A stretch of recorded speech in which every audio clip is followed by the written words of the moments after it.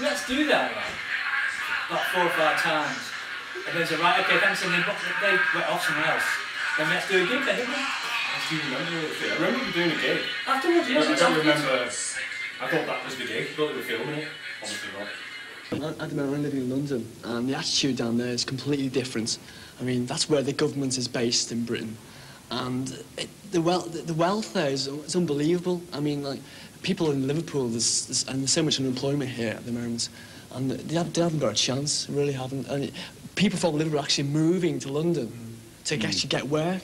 It's Yeah. ridiculous. Do you want me to tell you so why, why we're, sorry, why we're called Angry Young men's joke. Everybody's angry in Liverpool because they've, got, they've got no got work. nothing. Got Yeah. nothing at all. No money, no nothing. Pathetic, And the absolutely supplementary benefit people are on, and the dole they're on, it's a joke. Don't get Uh, we, we never really could describe it to be. We had that other people do that, and um, I I don't don't think it's something you can set up to No, do. no. I think it's something you just we just went in and we did whatever we did. As long as it was fun, as you said before, Yeah. and we always said when it wasn't fun anymore, we'd stop, and that's exactly what we did. Hmm. Sort of.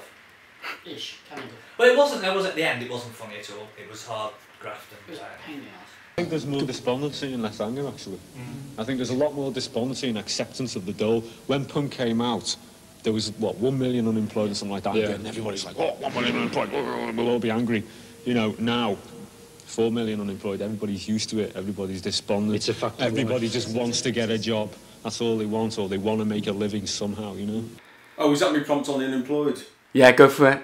Oh, blah, blah, blah, blah. there's four million unemployed. Actually, there isn't. Well, it was the Thatcher era, wasn't it? I think that's the most important thing to say from my point of view. It's the Thatcher era. apparently, we did And mention now that. she's didn't dead. Hurrah! Did Hey, hey, if I- And she, she had a bloody state funeral or something, didn't she? Who the bloody hell paid for that? Did we ask for her to have a state funeral? That was an insult. Wasn't it? Oh, you didn't Oh, you want me to rant? I'll rant about that. It was an insult to many people, especially people here in this city. The era made, made you angry. Yeah, bloody did make you angry. It was 1980s, you had the miners' strikes and Lighten the mood a bit. uh, yeah, I'll just go back into my rant now. Anyway, we, We we, had- we did had- not like Margaret Thatcher at all, and most people in the north didn't, and that did influence the anger and the music and the, the constant battering which we've now got under the new law. The music industry is an industry. It's a It is. business. It's to churn it It's a- out, it's a money, business money making machine, yeah.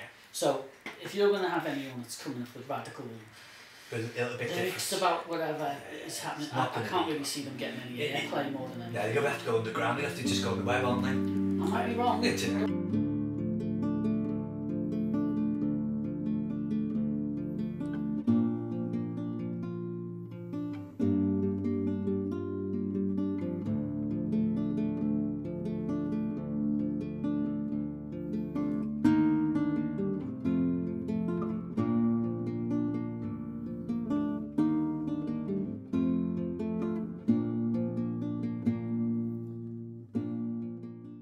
Um, most recent influences musically have been, um, well, going back a bit, um, uh, Julian Bream, especially his lute work.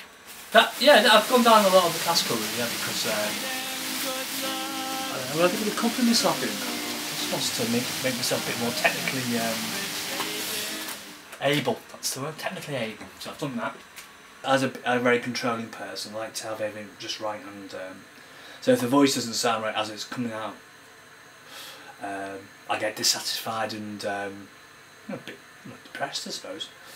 Why do I play? Keep the inner demons at bay. That's my main reason, really. And to entertain myself. Yeah, entertain myself. I do get a great lot of enjoyment. I have done. I always say that I won't. I'll stop playing a certain thing becomes boring or monotonous, or you know, some of the music you do play has to be that way because you have to. You have to be able to uh, learn the song inside out, take it apart, dissect it, and put it back together again with a piece of you in it. you've got to put you into it, and that's very in at the moment. You become the song, but you do need to know that song so well that you be able to do it. Then you can start putting your own life experience and emotion into that song. So that's what that's what I'm learning to do. Really, I've to do all since I started. Really. Thank you, Grandma. Thank you, my dad. So